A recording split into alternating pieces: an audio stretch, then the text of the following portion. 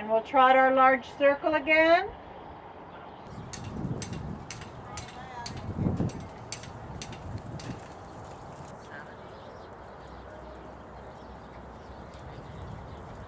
Use the stick if necessary, but get him where he's a little more responsive, Alicia.